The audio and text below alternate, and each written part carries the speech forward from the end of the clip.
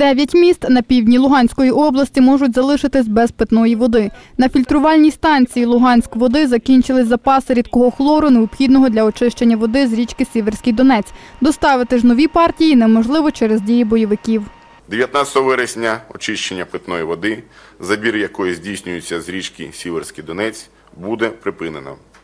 Цей захід пов'язаний з тим, що на західній фільтрувальній станції компанії Луганськ вода залишки рідкого хлору є критичними та немає можливості поповнення його запасів, оскільки станція розміщена на території тимчасово підконтрольній бойовикам.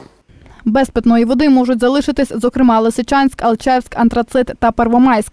Нагадаємо, за оцінками РНБО, на відновлення системи життєзабезпечення населення на сході, зокрема на відновлення водопостачання, потрібно 70 мільйонів гривень. У Харкові побудують модульні будинки для переселенців із Донбасу. Будівництвом займатиметься німецька урядова організація, представники якої уже прибули до Харкова для початку реалізації проекту із надання житла переселенцям взимку. Домівками планують забезпечити 400 осіб. Ще для сотні людей німецькі спеціалісти окремо відреставрують дитячий садок. Кілька модульних будинків зведуть уже до кінця цього року. Кожна сім'я матиме власну спальню та вітальню. Крім того, у будинку розмістять кухонні блоки, санвузли з душовими кабінами, дитячі ігрові кімнати та кімнати для навчання. Житло надаватимуть передусім тим сім'ям, які втратили свої помешкання, а також батькам із маленькими дітьми. За тиждень гривня обвалилась майже на 50 копійок і встановила новий історичний мінімум. В останнє на міжбанку американську валюту купували по 14 гривень 80 копійок. Аби припинити стрімке знецінення грошей, деякі фінансисти пропонують тимчасово відмовитись від плаваючого курсу. Повинні виходити із того, що економічна ситуація диктує певні жорсткі адміністративні дії з боку регулятора. Це не ринкові методи, але проти нас ринкові, е, воюють теж не ринковими методами. Це додаткові, додаткові заходи адміністративного характеру, це жорстка бюджетна дисципліна і більш жорстка монетарна політика. За словами фінансистів, якщо не вплинути на процес курсоутворення, то гривня знецінюватиметься і надалі. Росія за порушення прав людини повинна виплатити понад 1 мільйон євро. Кошти мають отримати 44 родичі викрадених жителів Чечні. Відповідне рішення виніс Європейський суд з прав людини. Події, які стали предметом судового розгляду, відбулися в період з 2001 по 2006 роки в Чечні. В усіх випадках озброєні люди в масках, що говорили російською, вривалися вночі в будинки потерпілих і силою вивозили чоловіків. Після цього родичі викрадених зверталися до правоохоронних органів, які заводили кримінальні справи, однак не довели до кінця жодної з них. Суд вирішив, що Росія порушила права зниклих безвісти на життя і свободу. Крім того, поводження з родичами, які не знають про долю їхніх близьких, декілька років. В суді розцінили як порушення заборони катувань і жорстокого поводження. За виборами до Верховної Ради будуть спостерігати майже 700 представників ОБСЄ. 80 експертів працюватимуть на довготерміновій основі. Вони спостерігатимуть за передвиборчою агітацією, умовами роботи ЗМІ і висвітленням процесу волевиявлення. Ще 600 спостерігачів залучать на короткотерміновій основі. Вони стежитимуть за голосуванням, підрахунком голосів та оголошенням результатів виборів. Uh, Ми готуємо наш робочий план для спостереження за парламентськими виборами в Україні. Звичайно ж, на тих територіях, де ці вибори будуть проведені. Перші спостерігачі розпочнуть роботу вже наступного тижня. Місія буде оцінювати парламентські вибори за міжнародними стандартами та українським законодавством. Гості з Європи планують завершити свою роботу в Україні 8 листопада. Раніше про відправлення до України міжнародних спостерігачів також заявив голова Європарламенту Мартін Шульц. Євромайдан став претендентом на премію Європарламенту імені Андрія Сахарова. Представляють рух активісти Мустафа Наєм, Руслана Лежичко, Єлизавета Щепетильникова та Тетяна Чорновол. Пропозицію присудити премію євромайданівцям висунув Яцек Саріош Вольський. Польського депутата підтримали ще 52 європарламентарі.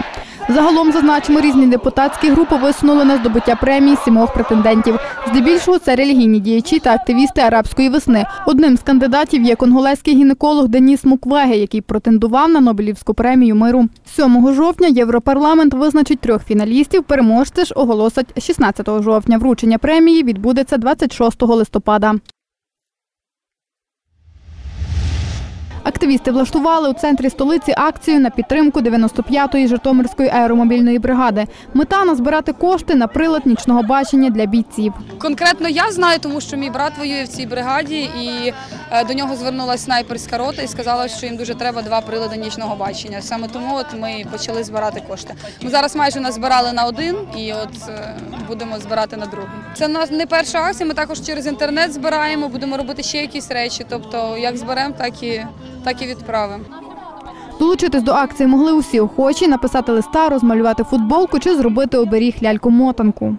Я малюю тризуб і хочу ще намалювати український флаг як символ нашої країни, щоб бо е, справжній патріот він повинен пишатися символами своєї держави, і це особлює єдність нашого народу. Бачите, робимо такі ляльки-мотанки, тобто вони будуть передані військовим з зони АТО. Як відомо, українська лялька-мотанка це є оберіг. Сподіваємося, що вони берегтимуть наших хлопців на передовій. Тобто така дрібничка, але я думаю, вони будуть раді. Як ви думаєте, де вони їх повинні носити? Ну, насправді носити де буде можливість, але по змозі біля себе. Дівчата-активісти також влаштували майстер-клас із плетіння маскувальної сітки. Кожна людина може долучитися е, таким чином до е, допомоги армії. Тобто пластисітку це не є складним, тобто це навіть е, легше ніж в'язати чи вишивати хрестиком. Просто технологія дуже проста. Ми просто купили там звичайну риболовну сітку і порізали шматтям різні там речі. Ось і дівчата вже відповідно нав'язують на, на сітку вже ці лоскутки. Активісти на майдані також розповіли про збір теплого одягу для бійців в зоні АТО. кажуть, до настання холодів треба готуватись заздалегідь.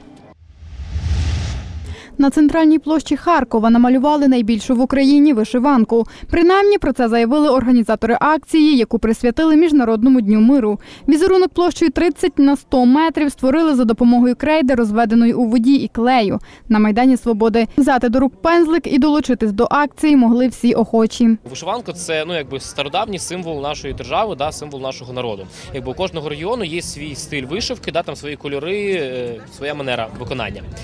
От ми вирішили використати кольори Слобожанщини, це білий, чорний, червоний. Тому ми просимо всіх мешканців Харкова, всіх інших теж класти шматочок душі в малюн... в цей малюнок і показати, що це ми єдиний народ, і ми об'єднуємось навколо єдиної біди та перемоги.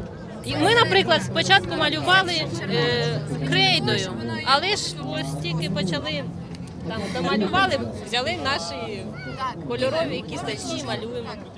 Не вистачає правда рук, якщо б допомагали ще.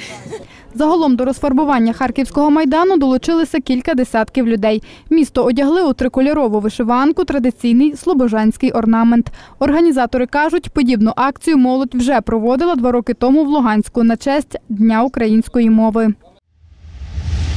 Економіка України цьогоріч обвалиться ще більше на 9% замість 7%. Такий прогноз падіння ВВП оприлюднив Європейський банк реконструкції і розвитку. Зокрема, за даними фахівців, скорочення обсягів виробництва, торгівлі і послуг спричинили бойові дії на сході країни та нарощення витрат на військову мобілізацію.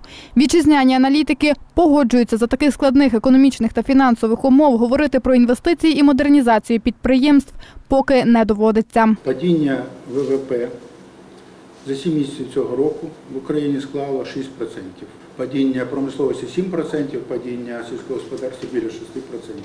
Говорити в цих умовах про інвестиції господарські від підприємств не приходиться. Немає прибутків, немає амортизації відповідних обсягів. Кредити впали, я сказав, депозити забирають, е, валюту не повертають. Будь-яка емісія гривні є штучною, інфляційною, буде викликати нові сплески е, курсу. Разом з тим, стабілізація ситуації на сході сприятиме відновленню інфраструктури в регіоні та поверненню довіри інвесторів. Як відомо, ЄБРР готовий співпрацювати з Україною в питанні відновлення Донбасу.